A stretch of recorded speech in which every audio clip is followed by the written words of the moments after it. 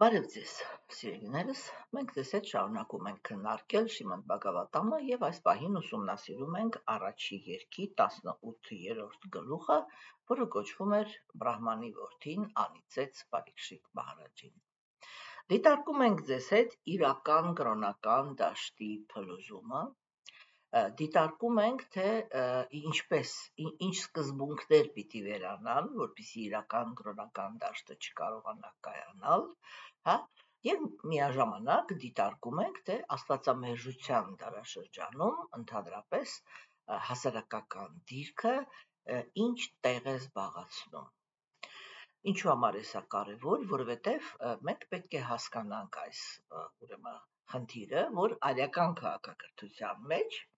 հա, ինքը շղթան սկսում էր այն կետից, որ արիացիները իրենք ունեին այնպիսի մշակված ուրեմն տեխնոլոգիաներ, որոնց շնորհիվ իրենք կարողանում էին ստանալ այնպիսի երեխա, ինչպիսի երեխա, որ ուզում էին եւ որpիսի այդ խնդիրները, այ որ արդեն կարողանում են ստանալ, առաջի խնդիրներ կայանում նրանում, որ կինը եւ տղամարդը պետք է ուզեն նույն բանը։ Եվ այսինքն հոգե, հոգեբանորեն իրանք պետք է իրար հետ համաձայն լինեն, թե ինչպիսի հոգու են ուզում դաստիարակել, մեծացնել, տալ այս աշխարհին, հա? Հիմա, սերից, ուրեմն այդ իմաստով, չէ, Մենք եւ այդ իմաստով մենք տեսնում ենք, որ արական քաղաքակրթության մեջ, երբ որ ազնվորությունը ինքը արդեն ծնվում էր, կախված նրանից թե ինքը որ հասարակական դիրքի ընտանիքում էր ծնվում, ինքը անպայման ցուցաբերում էր այդ դիրքին համապատասխան որակներ։ Եվ դրա համար արիացիները իրենք նշանակություն տալիս էին մարդու ցակմանը։ Հիմա մենք ձեզ հետ սկսեցինք արդեն դիտարկել, երբ որ հարգարժան շատ բարձր որակավորում ունեցող քուրմը, հա, ուրեմն չի կարողացել ունենալ իրեն համապատասխան երեխա։ Եվ այ իրանք դա են ցույց տալիս, որ աստվածամերժության դարաշրջանում ծնունդը ինքը չի կարող ընդունվել որպես ազնվորություն, օրինակ եթե ինքը հոգևորականի ընտանիքում է ծնվել, դեռ դա դեռ չի նշանակում, որ իրեն պետք է հարգել ինչպես հոգևորականի, որովհետև ինքը կարող է ընդհանրապես հոգևորական չլինել, այլ լինել մի հատ լրիվ ուրիշ բան։ Հասկանում եք, սերունդներս, չէ՞։ Ուրեմն, այս իմաստով, չէ, ես բան է, ես հույսով եմ, որ ասենք մեր այս խոսակցությունների իրենք բավականին արդյունավետ են այն իմաստով, որ շատ են օգնում, որովհետեւ մենք կարողանանք հասկանալ մեր իրականությունները եւ ճիշտ վերաբերվենք շատ ու շատ երևույթների, որոնք մեր իրականության մեջ տեղի ունեն։ Կարդամ այսօրվա մեր տեքստը եւ անցնենք առաջ։ Ուրեմն Շրինգին Բրահմանի որդին ասաց. Ով, պարզապես հիացեք կառավարիչների մեղքերով, որոնք ագռավների եւ պահապան շների պես մեղսավոր արարքներ են գործում իրենց տերերի դեմ հակառակ ծառաների համար սահմանված բոլոր կանոններին։ Արքայական ընտանիքների ժառանգները իրավամբ կոչվում են պահապան շներ եւ նրանց տեղը դռան մոտ է։ Ինչու պետք է շները մտնեն տուն եւ հավակնություններ ունենան, որ տիրոջ ափսեից իրենց ինչ որ բան հյուրասիրեն։ Տեր Շի Կրիշնայի տիրոջ ազնվորության եւ գերագույն տիրակալի հեռանալուց հետո այս դուրսպրծուկները օգտվելով մեր պաշտպանի բացակայությունից ծաղկում են։ Այդ իսկ պատճառով ես ամեն բան կվերցնեմ իմ ձեռքը եւ կպատժեմ նրանց։ Եղեք իմ զորության ականատեսները։ Ուրեմն, ինչպես տեսնում ենք, չէ, այս պահին հատկապես վերջի տեքստում, ուրեմն Շրինգին ինքը հայտարարություն արեց, որտեղից մենք կարող ենք հասկանալ, որ Բրահմանի տղան ինքը սնապարության, հա, ես ասում եի փառասիրության, բայց Չիսլավիը բազում է դա սնապարությունն է։ Հա, ուրեմն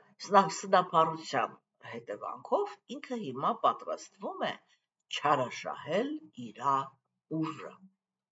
Ուրեմն այսա ինքը շատ կարևոր պահ է, որ բրահմանի որդին ինքը իրականում բրահմանական որակներով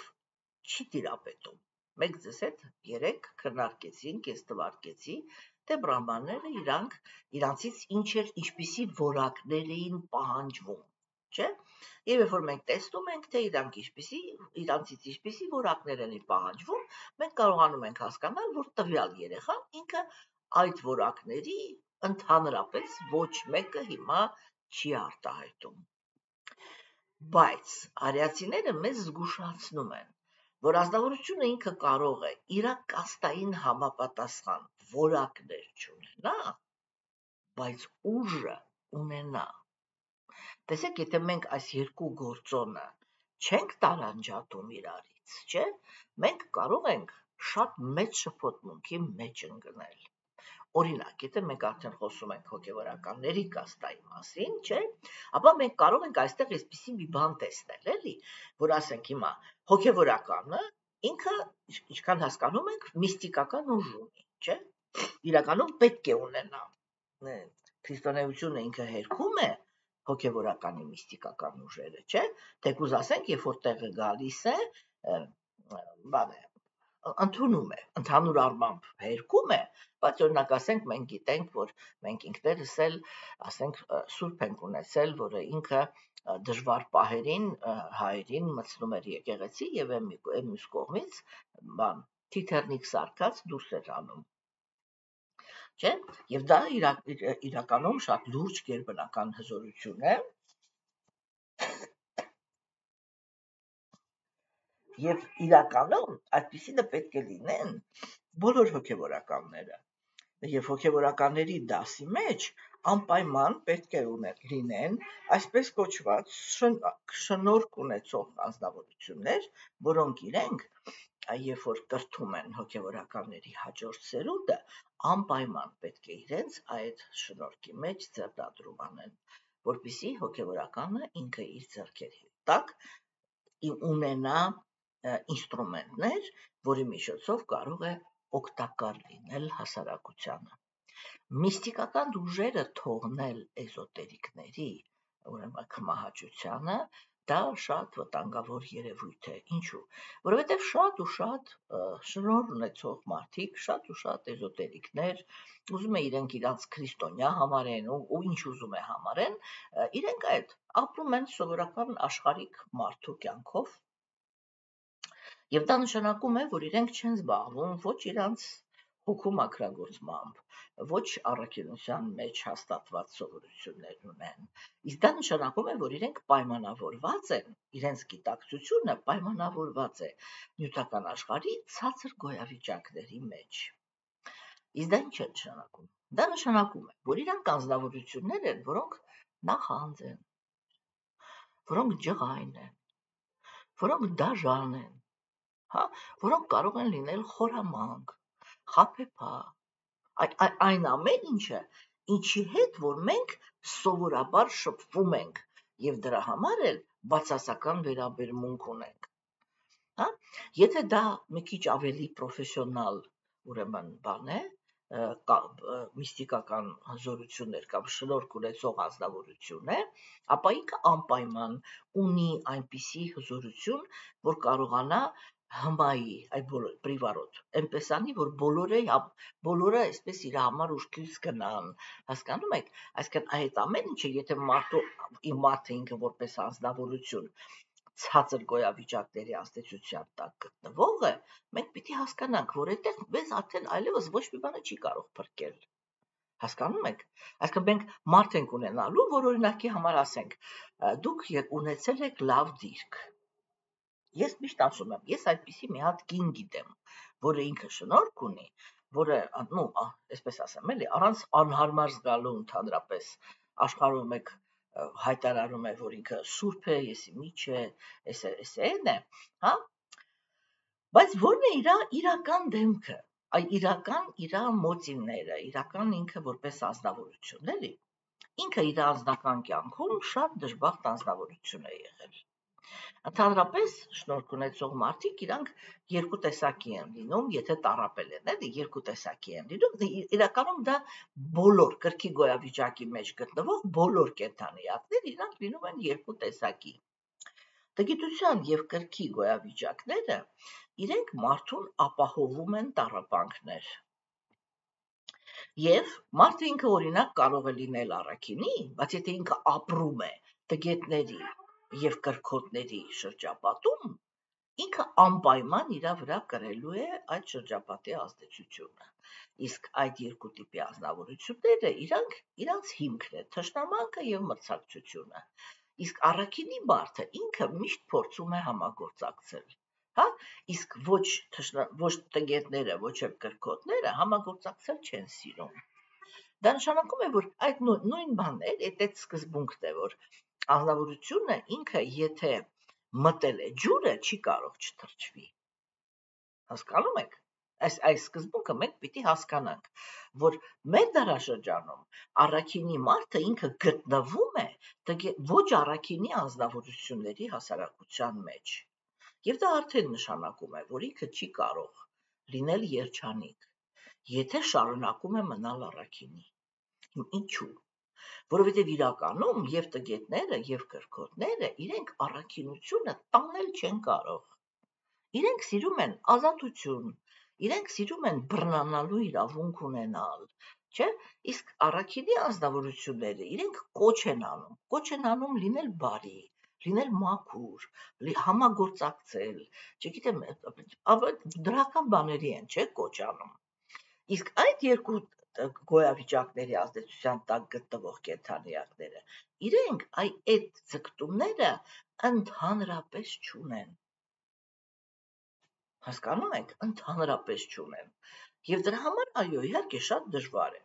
Եվ հիմա տեսեք, չէ, այ որ անձնավորությունները իրանք գտնվում են ցածր գոյավիճակների ազդեցության տակ, իրանք նախանձ են։ Եվ օրինակ, այդ կինը ինքը օբյեկտիվորեն շատ դժվար ճակատագիր է ունեցել։ Սկսենք այդ կետից,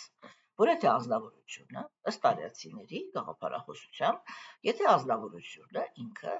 ծանր ճակատագիր է ունենում, դա նշանակում է, որ ինքը իր անցյալ կյանքերում շատ բաների մեղավոր կյանքով ապրած անձնավորություն է, որը ընդհանրապես ոչ մի բարեպաշտություն իր մեջ չի պարունակում։ Ինքը եղել է դժբախտ եւ որպես կին, եւ որպես մայր, հա, տեսեք ասենք, ինքը ինչ ինչ որ մի տարիքից մեծացել էր ուրեմն մանգատան։ Հետո երբ որ ինքը ամուսնացել էր, ունեցել էր 3 երեխա։ Ամուսնուց բաժանվել էր։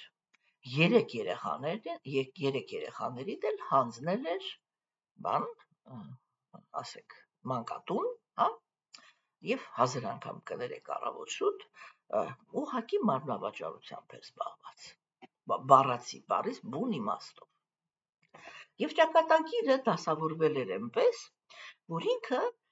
հայտնվել էր մի վայրում որտեղ իրան շնորհք էին փոխանցել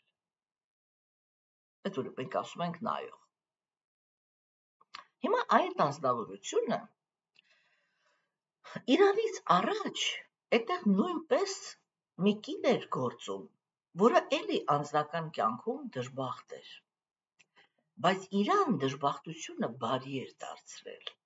որտեղ ընդհանրապես մենք պիտի հասկանանք, որ երբ որ գալիս է կրքի եւ տգիտության գոյավիճակի արդյունքները, իսկ տգիտության գոյավիճակի արդյունքները ավիրումներն են, իսկ կրքի գոյավիճակի բաները արդյունքները դա հիասթափությունները եւ տառապանքն է, չէ՞։ Այն որ այդ երկու բանը գալիս է մարդ կենթանեակի կյանք, կենթանեակը ինքը երկու ելք ունի այդտեղից։ Եթե ինքը կրքերի մեջ է, ինքը երբ որ գալիս է դժբախտության, ինքը կարող է, եթե ասած կոպիտ ասեմ, էլի, կարող է գա մի բանաձևի, որ ես տարապել եմ, մնացածը ինձ ինչով է լավ։ Ես շատ այդպիսի մայրեր գիտեմ, որոնք իրենք գիտակցաբար իրենց աղջիկ երեխաներին դատապարտել են ծանր ընտանեկան կյանքի, ամուսնացնելով բռնության հանդեպ հակում ունեցող տղամարդկանց հետ։ Եվ երբ որ ասենք իրանց ասում ես, լսի, դու ինքդ այդպիսի տղամարդու զոհ ես եղել, ինչու երեխային տվեցիր այստեղ։ Երբ որ դու հասկանում ես, չէ, որ ինքը այստեղ քո նման է ապրելու։ Եվ հանգիստ նայում են աչքերիդ մեջ եւ պատասխանում են, ասում են ինչու՞ է ինքը ինձ այնց լավ։ Ես ես ապրել եմ, չէ, ինչ որ մի ձևի։ Ինքն էլ ինչ որ մի ձևի կապրի։ Ես դիմացել եմ այդ ամեն ինչին, թող ինքն էլ դիմանա։ Ինչով է ինձանից լավ։ Այդ այնքը խոսում է իր ասեփական երեխայի մասին։ Եվ որ ասենք իրականում նորմալ ծնողը ինքը միշտ մի բան ունի, չէ՞ օրինակ հայերով մենք այդպիսի սովորություն ունենք, չէ՞ ես ինչ որ բառեր կա, որ շատ եմ սիրում, էլի ուրիշ տեղերը դի կարող է հիմա արդեն ոչ միտեղ չհանդիպես, չէ՞ եւ որ ասենք ամեն ծնողները իրանք հիմնականում համոզմունք ունեն, որ իրենց երեխաները պետք է իրանցից լավ ապրեն։ Չէ, եւ թե ասենք իրանք չեն կարողացել կրթել, կրթվել, իրանք մեծ ջանքեր են թափում, որպեսզի կրթեն իրանց երեխաներին։ Եթե չեն կարողան, հա, այսինքն ինչ որ չեն ունեցել, իրանք ձգտում են, որ երեխաները ունենան։ Եվ սա ծնողի համար բացարձակապես նորմալ իրավիճակ է, չէ՞։ Եվ հիմա տեսեք, ասենք սերունդներս, էլի, բայց ասենք այ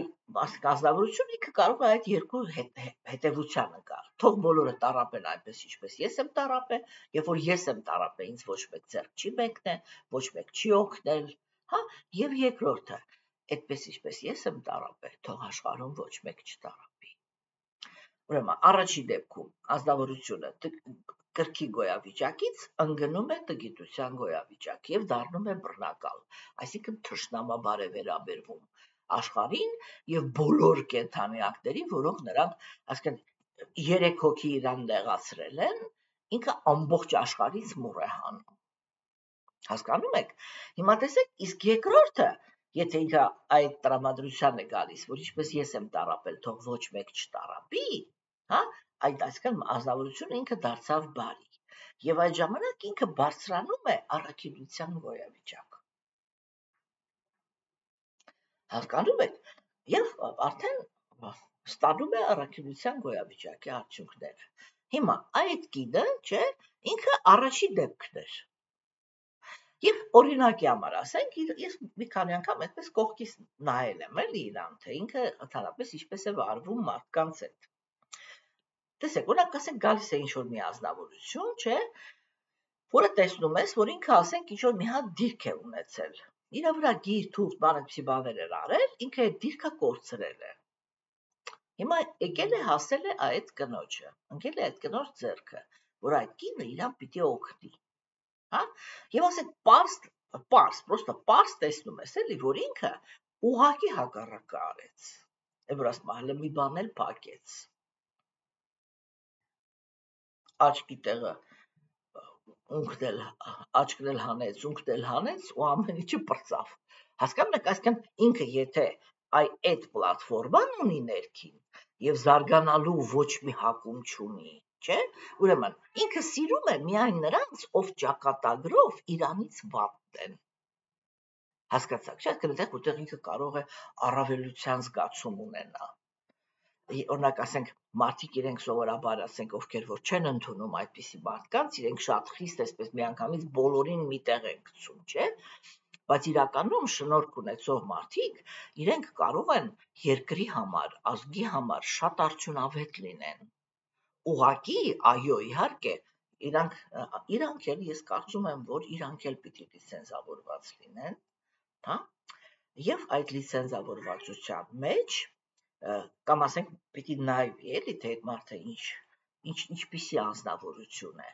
հասկանում եք ասենք այդ պրոստո երբ որ ամեն ինչը ստի եւ կեղծիքի վրա է հենված կաշառակերության վրա է հենված դու հասկանում ես որ ինչ ճիշտ սկզբունք էլ առաջ քաշես չէ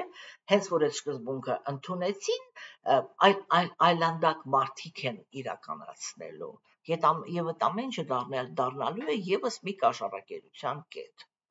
մեր ժամանակներում, հասկանում եք։ Նամա չգիտես էլի ելի ելքը որն է, բայց իրականում, չէ, իրականում, այ արիացիները իրանք այդպես էին վարվում, որ հոգևորականները իրանք իրականում իրականից առաքյանի ազնվորություններ էին հասկանում եք, որոնք իրենք աշխատում էին իրենց վրա, իրենց մակրագործման վրա, իրենց ամբողջ կյանքը անցկացնում էին հոգևոր պրակտիկայի մեջ։ Ով էր որ մի հոգևորականը իրան թույլ կտար խառնվել պոլիտիկայի մեջ, եսի միջի մեջ։ Հասկանում եք, իցի բաները ցարապես չկար։ Հոգևոր մարդը ինքը հասարակությունը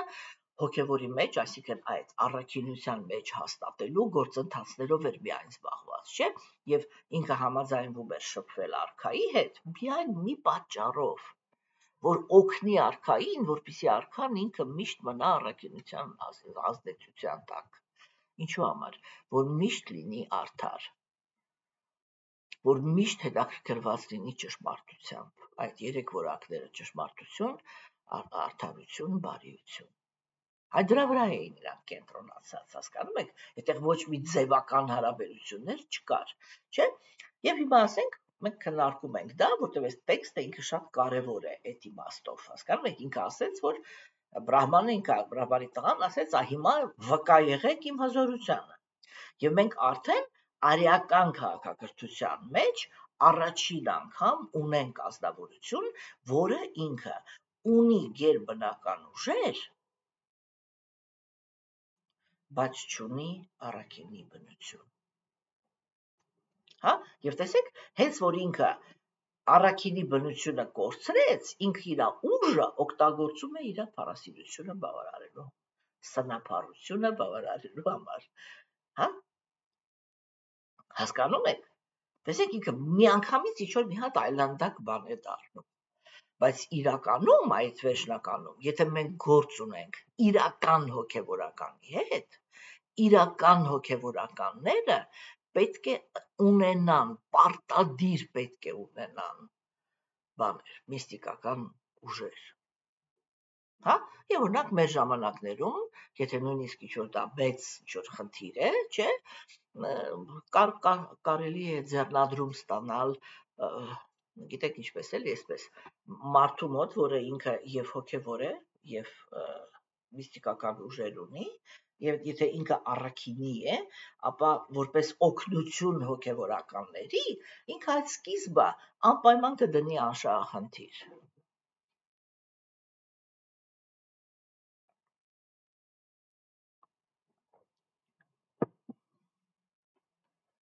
Եվ այո, ես կարող եմ ասել, որ այդ իմաստով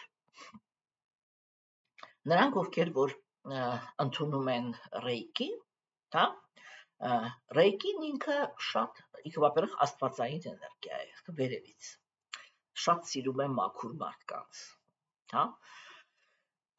Իհարկե, ամեն ամեն դանակով էլ կարելի է մարդ սպանել, կարելի է տորտ կտրել, հա։ Սա չէ քննարկում։ Բայց ասենք այնտեղ շատ են, սա է, սա է ասածս, որ այդ դաշտում, իմինը ռեյկի դաշտում շատ են անձնավորությունները, որոնք իրենք ինչ գոնե ինչ որ մի կարգի ուրեմն մակրության են ցկտում, չէ, որտեվ ռեյկին էլ ինքը իրա, չէ, 9 պահանջները ունի, որը ամեն օր ռեյկիստը ինքը կրկնում է, որ այդ օրը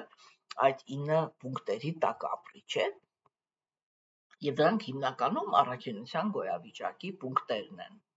հասկանում եք, տեսեք օրինակ մենք հիմա ես քննարկում եմ հեթանոս տղամարդկանց բանը, չէ, պահանջները, թե ասենք որպեսի տղամարդը ինքը հարգվեր հեթանոս աշխարհում, ինքը ինչպիսի որակների պիտի դերապետեր եւ մենք տեսնում ենք, որ այնտեղ էլ է առաքինության թեման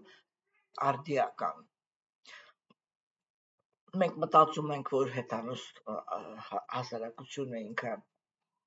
բարոյականություն չի ունեցել, բայց դա այդպես չի մենք հիմա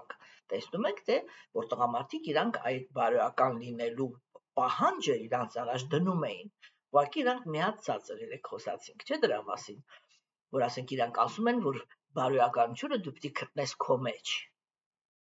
հասկանում եք իսկ օրինակ հոգեվոր հոգեվոր գիտելիքը ինքը ասում է ոչ դու բար դու բարոյականությունը այո ունես քո մեջ բայց դու իրան չես գիտակցում որովհետև նյութական աշխարհը իր կառուցվածքով նպաստում է, որ դու քո մեջ եղած արատները շահագործես։ Հա, Դրա համար քեզ պետք են մաքուր մարդիկ, որոնք քեզ հիշեցնեն, հիշեցնեն, որ դու բարոյական դու առաքինության որակներ ունես եւ ուղղակի դիմիր այդ որակներին, սկսի այդ որակները օգտագործել։ Հասկանում եք։ Բայց դա դա չեն քննարկում, այստեղ շատ կարևոր թեմա են քննարկում՝ հոգեվորականը, միստիկական ուժերը եւ հոգեվորականի մակրությունը։ Հա, հիմա տեսեք ուրեմն, չէ՞, այ երբ որ մենք պայմանավոր, տեսեք հիմա, եթե հոգեվորականները իրենք հրաժարվում են գերբնական ուժերից, ուրեմն իրական հոգեվորականը ինքը ինչպիսին է։ Իրական հոգեվորականը ինքը զարգացնում է առաքինություն, զարգացնում է իմաստություն, իմաստության հիմքի վրա զարգացնում է կարեկից, կարեկից բնություն։ Հասկանում եք, հա? Այդ Հիսուսի հանրահայտ ների իրանց չեն գիտակցում ինչ են անում, չէ, այդ կար, այդ դա կարեկցանքն է, որ իմաստունը, որը ինքը հասկանում է այս աշխարհը, չէ՞։ Այ արիացիների մեջ ես դա շատ եմ սիրում, էլի, որ իրանք ոչ թե մարդուն կամ կենթանի ակներին, որոնք ապրում են նյութական աշխարհում, մեղադրում են աշխարհի ամենամեծ, չգիտեմ ինչերի մեջ, չէ՞։ Իրանք ասում են ցանկացած ճարիք ծնվում է տգիտությունից։ Տուր գիտելիք, գիտելիքը տգիտ բանը, ճարիքը կոչնչացնի։ Ինչու է բարի անում իմաստունը հա, որովհետև ինքը դա է տեսնում, այդ այդ գիտելիքն է ստանում, որ հոգին նյութական աշխարհում կտրված է իր քոքից։ Ինքը կտրված է Աստծուց։ Եվ այ այդ տգիտությունը, որ ես եմ կարևոր, ես կարող եմ որոշեմ, ես իմիջ, այդ տգետ գաղափարն է, որ ծնում է այս աշխարհի ամբողջ դաժանությունը, տարապակները եւ այլն եւ այլն չէ՞։ Եվ այդտեղ միանգամից գալիս է այդ կարեկցանքը։ Ոնց որ ասենք դուք փոքրիկ երեխային դահեք եւ տեսնեք, որ ինքը ինչ որ մի բանով իրան վնաս է տալի։ Ինքը ինչու է վնաս տալի։ Որտեւ այն իրը, որը գտնվում է իր ձեռքի մեջ, ինքը չի գիտակցում։ Ինքը ոչ թե չարն է, կամ չգիտես ինչ է, կամ ինչ վատ բան է ուզում անի։ Ոչ, ինքը պրոստը չգիտի, որ այդ իրի հետ ինչպես վարվի եւ դրա համար սխալ է վարվում եւ վատ արդյունք է ստանում։ Հասկանում եք։ Ուրեմն ամբողջ ճարիքը ինքը տգիտության մեջ է։ Իրական հոգեվորականը, եթե ինքը գործ ունի իրական սուրբ գրվածքի հետ, սուրբ գրվածքը սովորաբար շատ շատ բարձրակարգ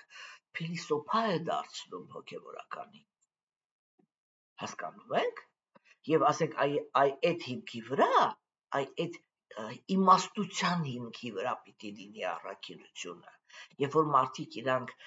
մնում են ըստ էության թողներեն ինձ բոլորը էլի ըստ ըստ էության մնում են տգիտության վիճակի մեջ, որովհետև իրենց սուրբ գրվածքը իրենց չի տալի գիտելիք նյութական աշխարհի կառուցվածքի, հատկապես հոգեբանական կառուցվածքի մասին, չէ՞։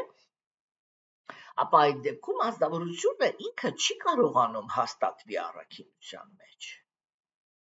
Հասկանում եք։ Եվ ինքը իր ամբողջ կյանքը անցկացնում է սեփական արատների հետ պայքարի մեջ։ Արացիները մի շատ գեղեցիկ գաղափար ունեն, որը նկարագրում է Վիշվանաթ Չակրավարտի Թակուրը, հա։ Իրանք ասում են, այդի դրեք մի կողմ ընդհանրապես, չի կարելի պայքարել արատի դեմ։ Պետք է ուղակի մշտապես զբաղված լինել բան առաքինի սովորություններ ձեռք բերելու վրա երբ որ մենք այդ սովորությունները ձեռք ենք բերում, արատը ինքն իրան թողնում գնում է առանց ոչ մի պայքարի։ Հասկանում եք։ Հիմա տեսեք սերունդես, էլի չէ։ Հիմա այ երբ որ ազնվորությունը ինքը հոգևորական է, ինքը ունի մակրություն, ունի սովորություն աշխատել սեփական հոգու մակրագործման բան գործերի վրա, չէ։ Այ ինքը երբ որ ինքը ունի ģերբնական ուժեր, Ինքը այդ գերբնական ուժերը անպայման օգտագործում է ի օգուտ բոլոր նրանց, ում հոգևոր զարգացման համար ինքը պատասխանատու է։ Եվ ինքը կարողանում է ճիշտ պատասխան տալ եւ ազնվորությունների նյութական կյանքի համար, եւ ազնվորությունների հոգևոր կյանքի համար։ Ցանկացած անznավորություն որը ինքը գործ է ունեցել իրական հոգևոր ուսուցչի հետ, եթե ինքը այդ հարաբերությունները ճիշտ է կառուցել, սա շատ կարևոր պայման է, ինքը համոզվել է, որ իրա եւ նյութական կյանքն է լավացել,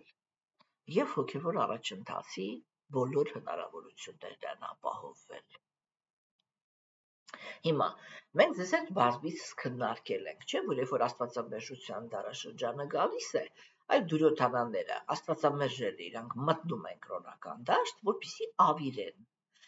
Այև որ իրանք դա ավիրում են, մենք այստեղ տեսնում ենք։ Առաջի բանը որ մնաց,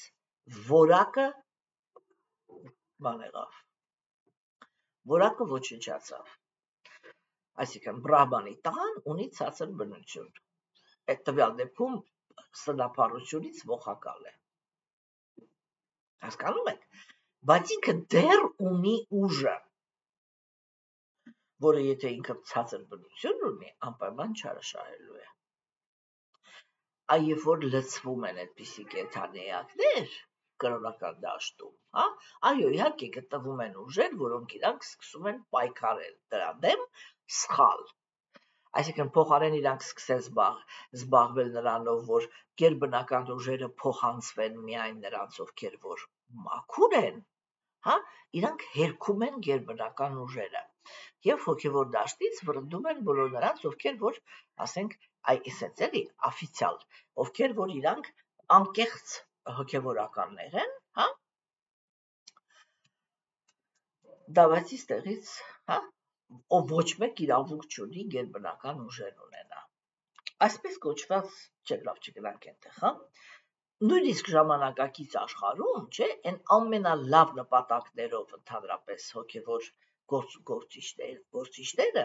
իրենք այդ այդ այդ ֆակտորի վրա ուշադրություն չեն դարձնում ընդ որում նախապես ասեմ, փորձը ցույց է տվել, որ այդ դաշտը ինքը շատ վտանգավոր է, որովհետև ամեն ցանկացած պահի աշակերտը ինքը կարող է լինել անկեղծ եւ մարդը ինքը կարող է անկեղծ այ անկեղծ եղած ժամանակ մարդուն ինչ որ հզորություններ տա, հետո ինչ որ մի պահից ազնվորությունը ինքը կարող է կանգնացնի իր հոգեվոր զարգացումը, բայց ուժը արդեն ստացել է եւ դառնա սև սատանա։ Այն որ կոպիտ ասած չիմանաս հետը ինչ անես Հասկանում եք, չէ՞։ Ես չեմ ասում, որ այս ոլորտը ինքը པարզ է։ Դրա համար մենք փորձում ենք իրան շատ կողմերից դիտարկենք։ Հույսով եմ, որ ես կարողանում եմ լինել օբյեկտիվ։ Այսինքն մենք ունենք խնդիր, որ հոգևորականը ինքը հասարակության մեջ պետք է ամենայն դեպս արիացիների մոտ դա այդպես էր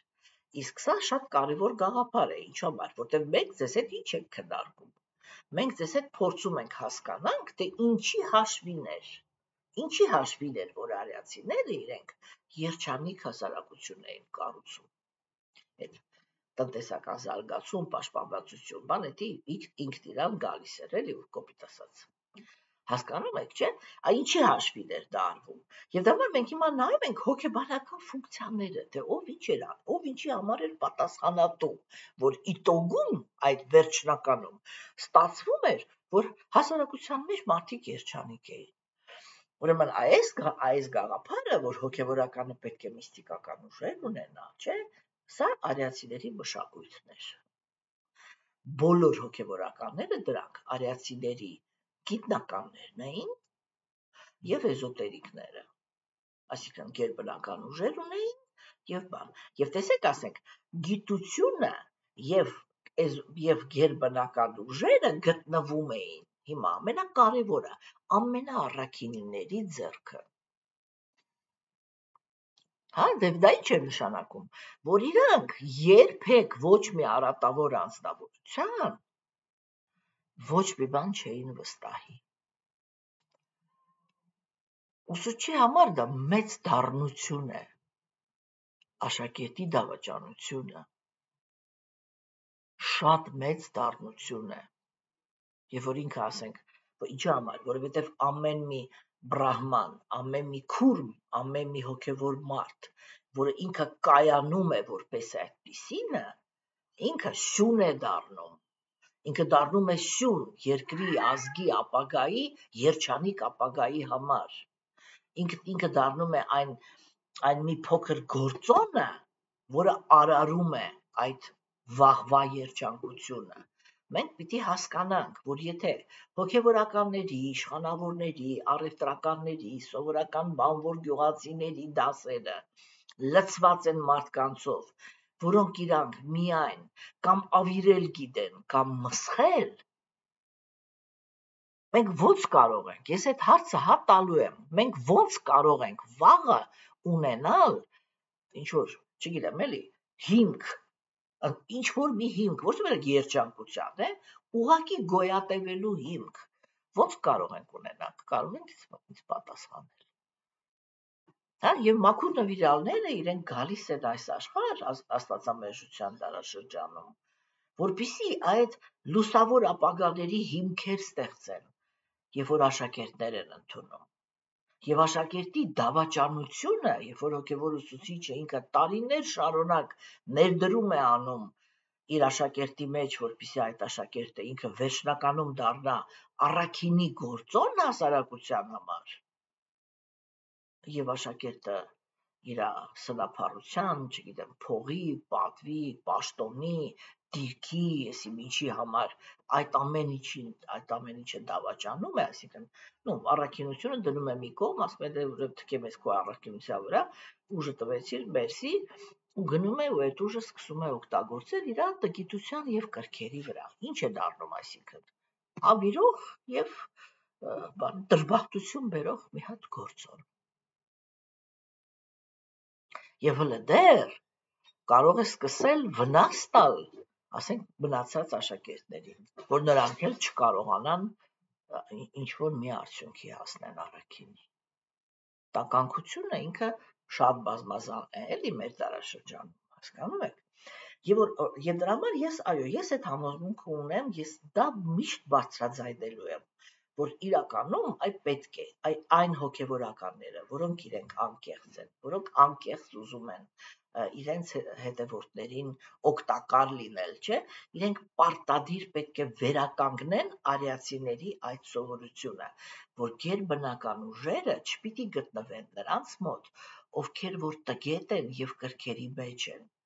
այսինքն ովքեր այդ ուժերը օգտագործում են թշնամանք իրականացնելու սովորական լեզվով ասես թուղթ ու գրերով մարդկանց գլուխներ ուտելու, հա,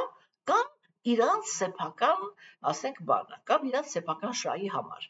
Այսինքն մարդը ինքը զորություն ունի, ինքը իրան առաջ է տանում։ Թեկուս ոչ մի որակավորում չունի, ինչ որ մի լուրջ տեղ զբաղեցնելու համար։ Այս այս, այս սա ենք ստանում մենք։ Հասկանում եք, դրա համար գերբնական ուժերը իրենք անպայման պիտի կպցվեն այն ազնվորությունների հետ, ովքեր որ առաքինության վրա են զբաղվում։ Եվ իհարկե, Աստծո կողմից անիծված են այն ազնվորությունները, հասկանում եք, որոնք իրենք, ասենք, գերբնական ուժերը իրենք օգտագործում են այդ կամ սրա նրա գլուխն ուտելու կամ էլ իրանց առաջ քաշելու վրա։ Հասկանում եք, սիրելիներս, էլի։ Հիմա տեսեք ուրեմն, այ այս թեման ինքը քննարկվում է այստեղ, որ ո՞նց եղավ։ Այ հիմա մենք տեսնում ենք, որ տեսեք, արական հակակրթությունը ներսից պիտի ոչնչանա, չէ՞։ Հիմա այ քանի կար շրի այս ինչ էր անում այս տղայի շրինգ, շրինգը։ Երբ կներեք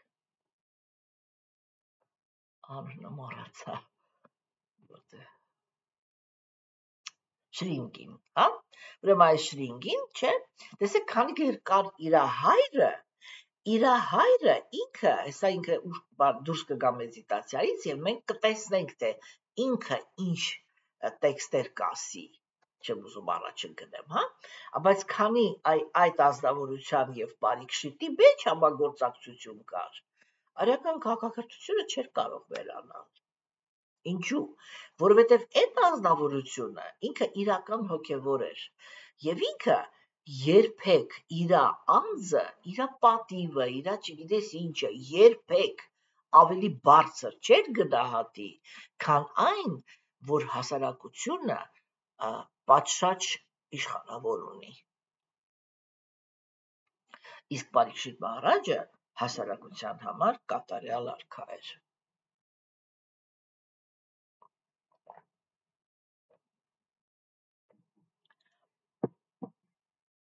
Եվ տեսեք ինքը մի անգամ մի հատ սխալ գործեց, որը հենց ինքը իր օրինակով դա է ուզում ցույց տա, որ այո, արքայական բանը կաստան ինքը անպայման մենք երեք դրա մասին քննարկեցինք, չէ, ինքը անպայման իր մեջ պարունակում է կրքի գոյավիճակ։ Եվ իրանք բռնկվող են բնությունով։ Հասկանում եք, փառասեր են,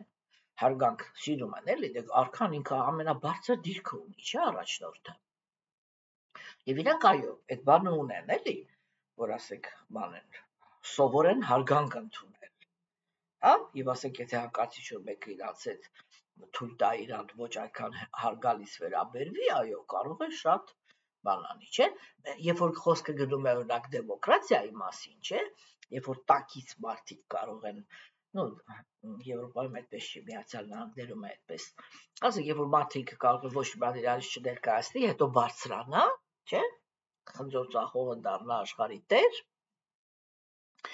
Ու տեսեք, ասենք, այդ բարագայում չէ՞։ Ազնվորությունը ինքը որոշ ժամանակ ստիպված է լինում ծախսել, որ այդ հարգանքի մեջ հաստատվի, որ ազգաբնակչությունը իրան չհիշեցնի այլևս, որպես թերություն, որ ինքը խնձոր ծախող է։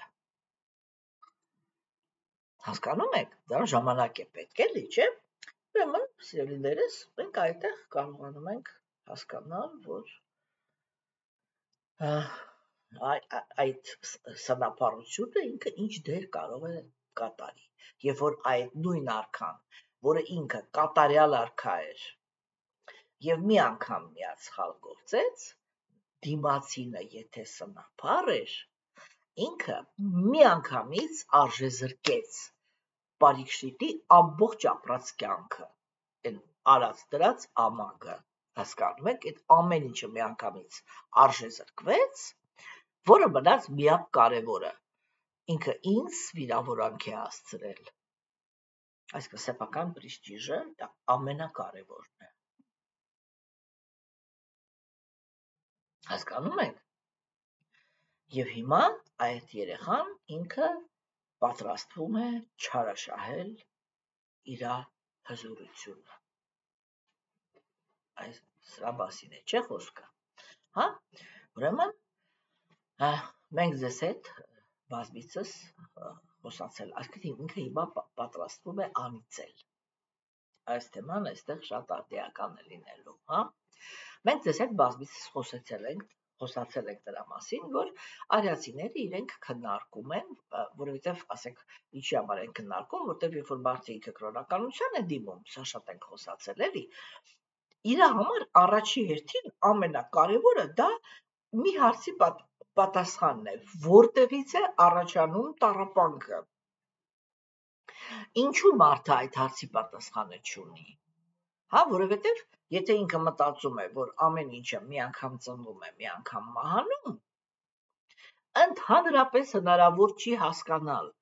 որ ոչ մի բան չեմ արել, այս անտեր տառապանքը որտեղից եկավ։ Այս հարցի պատասխանն է ուզում ստանալ կենդանիակը, հատկանում ամենայն դեպս մարդը մեր մոլորակի վրա, որտեղ ինքը ամենաբանականն է։ Չէ՞։ Եվ այդ եւ այդ հարցի պատասխանը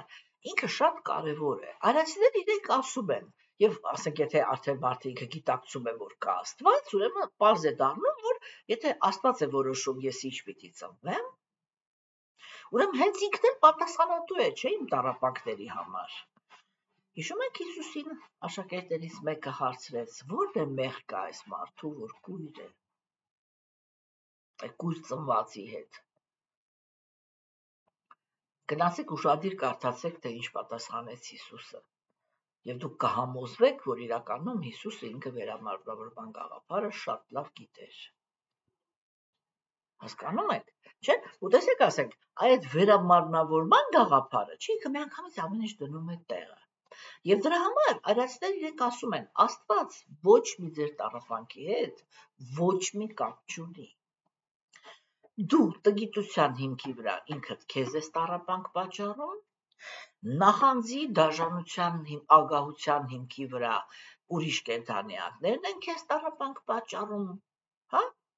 Եվ տառապանք է պատճառում բնությունը։ Հիմա,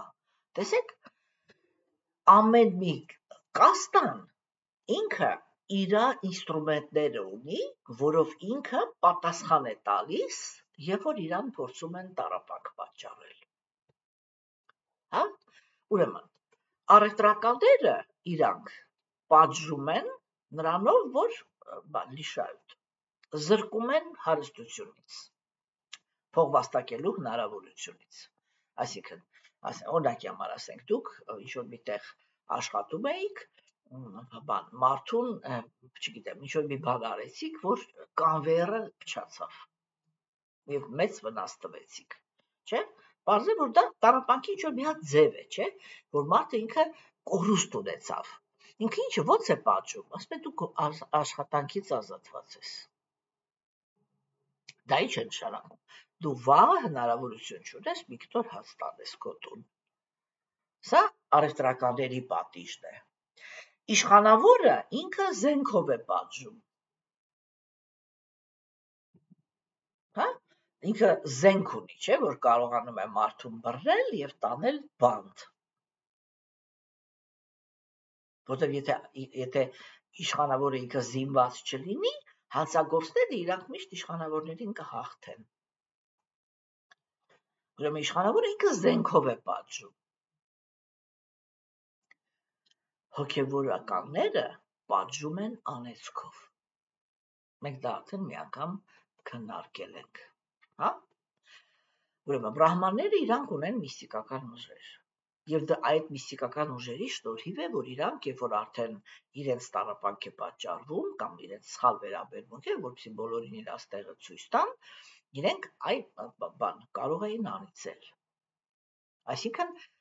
բացասական ծրագիր դնել մարդու ճակատագրի վրա չէ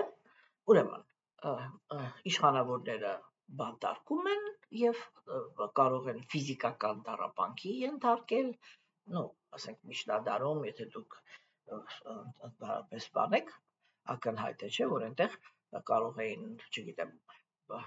կամած կամած ձերք ոդկը կտրեին միջև գլխին հասնեին, ասկը ցավացնեին, էլի պլետներով այնքան ծեծեին միջև մահանար, արուլվիկ մսաղած դառնար։ Ես իմ ինչ հասկանում եք, տառապանք պատճառելով են պատժում, չէ՞։ Հա? Ուրեմն բաները, առևտրականները իրենք բան են անում, պատժում են բանով, ասեք, որ զրկում են մարդու գումար աշխատելու հնարավորությունից, չէ, իսկ սովորական մարդիկ, այսինքն բանվոր գյուղացիական դասակարգը ինքը պատժում է հասարակությունը նրանով, որ սկսում է անվորակ բաներ արտադրել, հա, անվորակ կատարել գործողությունները եւ գողությամբ է զբաղվում։ Եվ տեսեք, այ այ եւ ու երբ որ այս ամեն ինչը կա, անարդար, այդ ժամանակ բոլոր կաստաններում իրար հանդեպ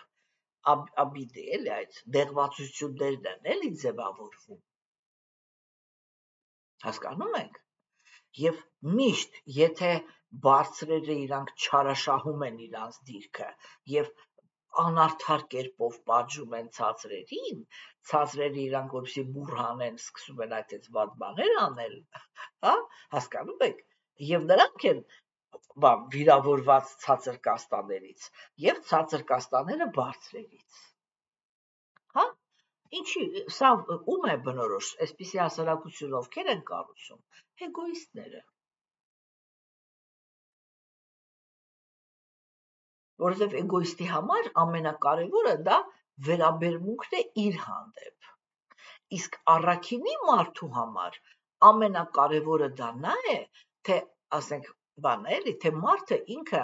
ինչ որակավորում ունի եւ ինչ օգուտ է տալիս հասարակությանը։ Եվ առաքինի մարդը ինքը կարող է իրեն հաստված վիրավորանքը անմիջապես ներել, եթե իր առաջ կանգնած է հասարակական իմաստով օգտակար անձնավորություն։ Հասկանում եք։ Հիմա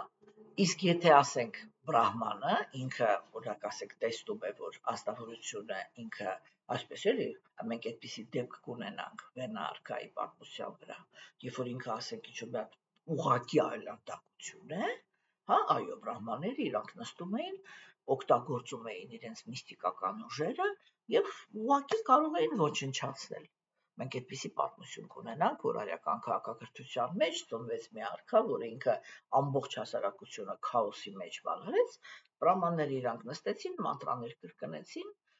մահվան եւ վենան ինքը ուղակի հենց այնտեղ ընկավ ու բահացավ։ Եվ վերջ։ Հասկանում եք, այսինքն կան տեղեր, որտեղ բրահմաններն էլ պիտի պատժեն։ Հա? Եվ դա այդ արդեն ցայտուն արտահայտված դեմոնիզմն է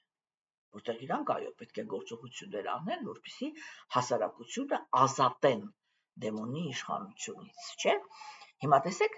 այ դեմոնները իրանք շատ լավ գիտեն, որ բրահմանները իրանք այդպիսի հզորություն ունեն։ Եվ դրա համար երբ որ իրանք գալիս են իշխանության, առաջի բանը, որ իրանք անում են, դա ընկնում են այդ ուժ ունեցող մարդկանց հետևից։ Ինչի համար որովհետև ուժ ունեցող մարդը ինքը կարող է պատժի դեմոնին, այնպես որ օրինակ, չգիտեմ, օրինակ ասենք հիմա ենթադրենք միջնադարյան Ֆրանսիան, հա, այնտեղ շատ էր էլի ցայտուն արտահայտված Ֆրանսիայում, Գերմանիայում, ինչու՞ չէ նաև Իսպանիայում, հա։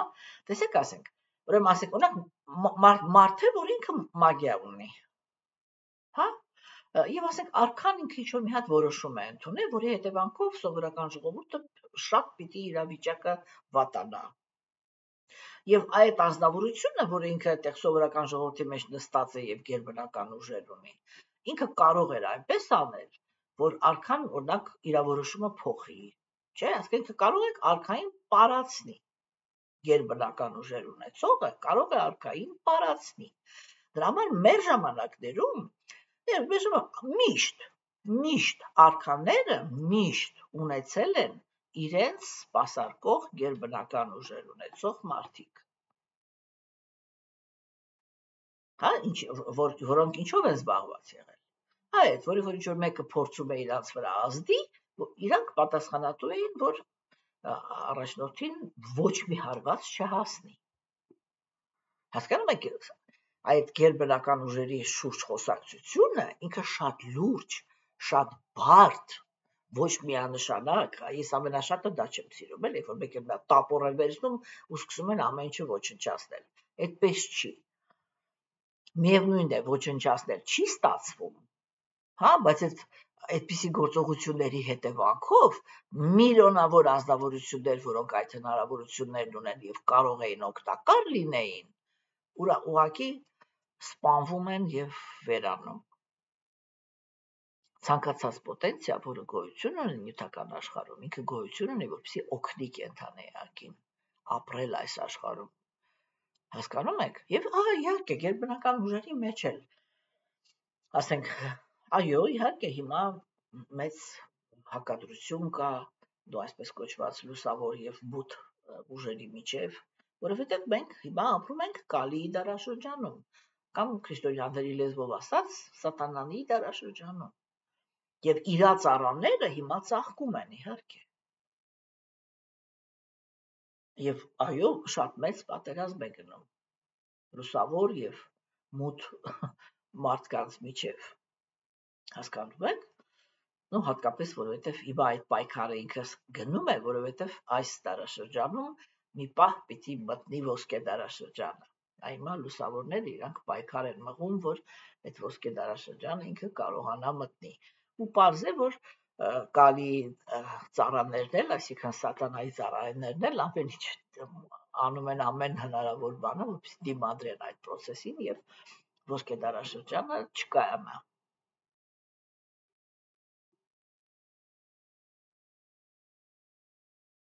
Mm. Ուրեմն մենք տեսանք, որ այստեղ ուրեմն բրահմանի որդին ինքը պատրաստվում է չարաշահել իր բրահմանիկական ուժը ուղակի այն հիմքի վրա, որ ինքը վիրավորվել է։ եւ բացարձակապես հաշվի չի առնում բարիքշիտի ուրեմն բանը որակավորումը որպես արքա եւ տեսնում ենք թե ինքը ինչպիսի հաճույքով է մի քանի անգամ այդ բառը օգտագործում բարիքշիտի հանդեպ որ ինքը շուն է հա հասկացաք ուրեմն մեծ հաճույք է ստանում որ կարող է նսեմացնել իրան Երբ որ անձնավորությունը իրան այդպես է պահում, ինքը պրակտիկորեն կորցնում է իր բոլոր ձեռքբերումները։ Բոլոր այն գործողությունները, որը կատարվում են սնափառության հիմքի վրա, կամ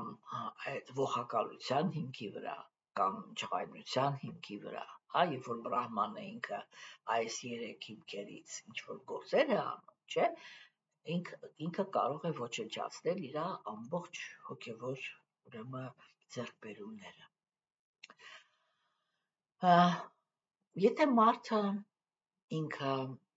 իսկ երբ որ բրահմանն ինքը չարաշահում է իր ուժը, ապա մենք պիտի հասկանանք կերբլակալ ուժեղ ունեցողները, այ մեր դարաշրջանում, երբ որ իրանք չարաշահում են իրանց ուժը, եթե մարդը ինքը թույլ է, ապա այդ մարդը ինքը ոչ մի շանս չունի կենթանի մնալու հա իսկական հոգևորականը ինքը միշտ միշտ դողում է գնահատում է կենթանի էակի ձեռքբերումները առաքինության մեջ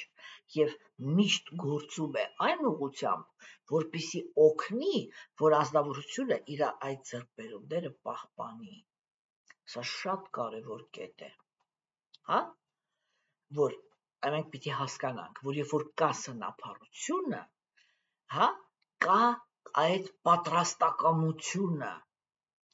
ոչնչացնել երջանկությունը, ոչնչացնել կենթանիակի բոլոր ձեռքբերումները, այսինքն ոչնչացնել ամեն ինչը նրա, սա ամենակարևորն է, ով քեզանից թույլ է։ Հասկանում եք եւ տեսեք հիմա, Այն մենք սովորաբար խոսում ենք նրա մասին, որ սրբերին են վատ վերաբերվում, չէ՞։ Իսկ հիմա մենք խոսում ենք նրա մասին, երբ որ սուրբն է վատ վերաբերվում։ Այսինքն, իշխանավորը ինքը գիտակցում է, որ եթե ինքը գործ ունի սրբի հետ, սրբին վիրավորանք հասցնելը, ասենք սրբի վրա զենք բարձրացնելը, կամ չգիտեմ, իրան պատժելը, հա, սրբերին իրանք բան կոպիտ ասած օրենքից դուրս էին, որտեղ հասարակությունից էլ դուրս էին ապրում։ Չէ՞։ Ու ասենք, տեսեք, ասենք, ինքը դա գիտակցում է, չէ՞, եւ զենք չի բարձացնում։ Օրինակ ոչ մի բան, չէ, գիտե մեր ժամանակներում ինչ որ մի հոգեվորականի տղա իշխանավորին անից էր, երկրորդ րոպեին իրանք կտանեին կբանդարկեին ոչ մեկ չէ նայի հոգևորականի տղա է, ինչի տղա է, ում տղա է։ Ну, չէ, կնայեն իհարկե։ Բայց եթե այտենց անտեր հոգևորականի տղա է, ինքը միակամից կհայտնվեր բանտում առաջի երթին։ Չէ՞։ Վատագույն դեպքում իրան միտեղ կկազմակերպեին, կբռնեին, այնքան կծեծեին միջև կմեռներ, ոչ մեկ էլ չերի բանա հետո ծեծեց։ Ժողովուրդը կարող է ասել, բան, հաստատեն էր, բայց թե ոչ մեկ ոչ մեկի վրա չի կարողացի միջև հիմա ոչ բան հաստատի։ Հասկանում եք, չէ՞։ Հիմա այստեղ մենք գործ ունենք, որ իշխանավորը ինքը պարկեշտ իշխանավոր է, եւ իրանք ինք իրան կյանքում թույլ չի տա ինչ որ անհարգալից բաներ անել բրահմանի ընտանիքի հանդեպ։ Այդ մի հատ բան ինքը որ բացացրեց, մենք հələ այդ թեման չենք վերջացրել, էլի։ Հասկանում եք։ Բայց հիմա բրահմանը ինքը ուժ ունի եւ ինքը հիմա պատրաստվում է ավիրի իշխանավորի կյանքը, չարաշահելով իր ուժը։ Տեսեք ինքը ինչքան բարթացավ, չէ՞ միանգամից որպես հարաբերություն։ Հասկանում եք։ Երբ որ մարդը ինքը դառնում է, կներեք էլի այդ խոսքով ասեմ, երբ որ մարդը ինքը իր ներսում դառնում է այլանդակ, ես միշտ իմ աշակերտներին ասում եմ, երբ որ Բաքսիվինոտ Թակուրը ինքը ասում է, որ նա ում սրտի մեջ չկա ճշմարտություն, ով չի հետաքրքրվում արդարությամբ եւ ով բարի չի, ինքը անպայման խորամանկ է եւ դաժան այդ որ ինքը ասում է դաժան հասկանում եք դա չի նշանակում էլ ոչ որ բան կարող է քեզ չբան դա նշանակում է այն աշխարհում ինչպիսի դաժանություն որ կարող եք ձեր մտքի ծայրով անցկացնել մարդիկ սկսում են իրար հանդեպ դա անել այդ ազնվազարմությունն է վերանում, բլակառուցտվը։ Հասկանում եք։ Հիմա, սիրելիներս, չէ՞։ Ուրեմն մեր այսօրվա տեքստը ինքը դրա մասին էր, չէ՞։ Եվ մենք տեսնում ենք հիմա, որ փոքրիկ երեխան, որը ինքը իմաստություն չունի, առաքինություն չունի, սնափառ է, վիրավորված է այն այդ սիտուացիայից, որ ինքը իր ընկերների ներկայությամբ վիրավորանք է ստացել, ուրեմն հոր հետ կապված, եւ պատրաստվում է չարաշահել իր հզորությունը, որպեսզի մեծ վնաս հասցնի Պարիքշիտ Մահարաջին։ Թե կոնկրետ ինչ վնաս ինքը կասի, այսինքն ինչ անեցք կտա, մենք արդեն կդիտարկենք վաղը։ Այսօր այսքան։